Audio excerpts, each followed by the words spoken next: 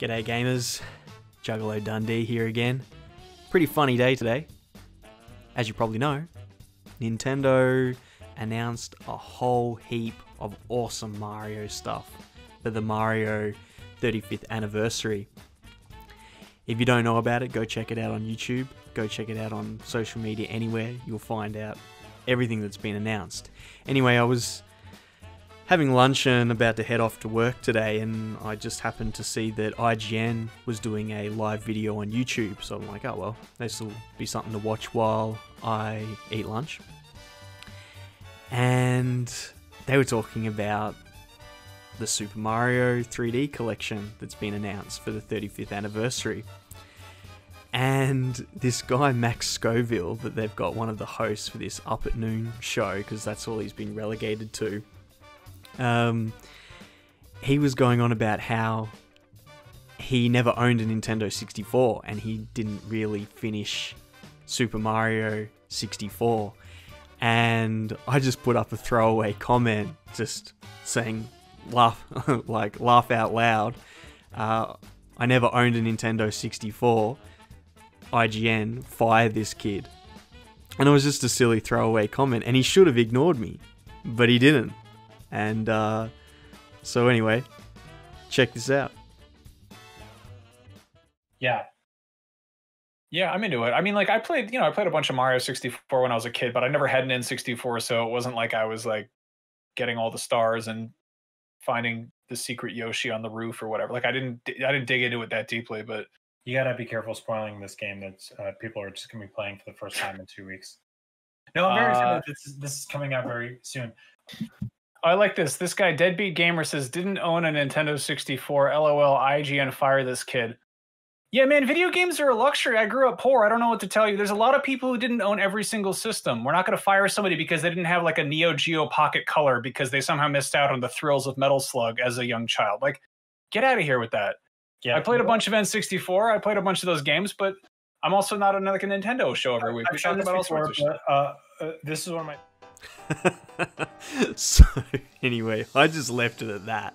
I was like, whatever, Max, you know, like, but I don't really care. If you don't like Nintendo, if you don't like Mario and stuff like that, then just own it and say you don't give a shit about that, fine. But when you're a paid journalist, video game journalist, for the largest video game publication on the internet, come on, man. You've had, what is it, like 24 years to catch up and buy Nintendo 64 and play all the groundbreaking games that came out on the Nintendo 64. Not to mention the most important game that ushered in the 3D graphics era. The thing the game Super Mario 64 that just showed the entire industry how to do 3D video games really well. It's a landmark title that if you're a serious video gamer, you should have played uh, at the very least. And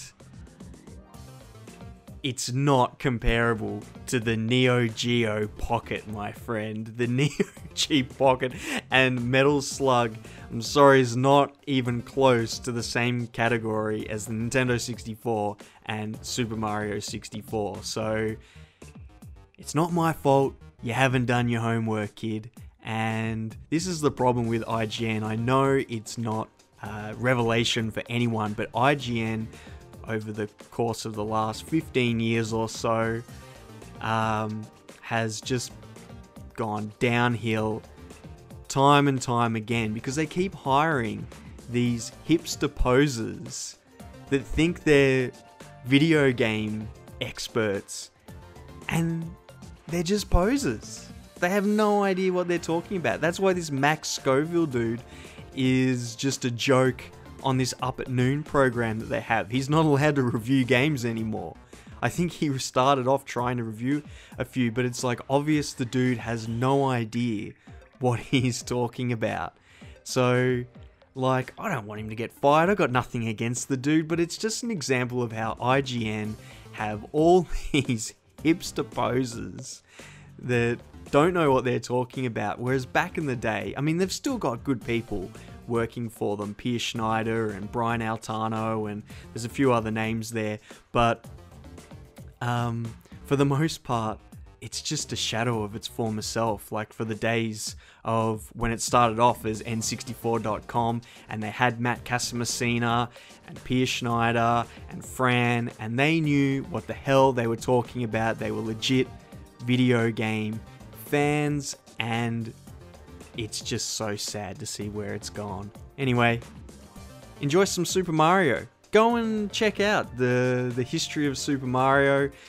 It's pretty easy to find. There's so many different ways that you can play the Mario games, whether it's by emulation or legitimately on nearly every console that they have. So, yeah, it's Mario's 35th anniversary.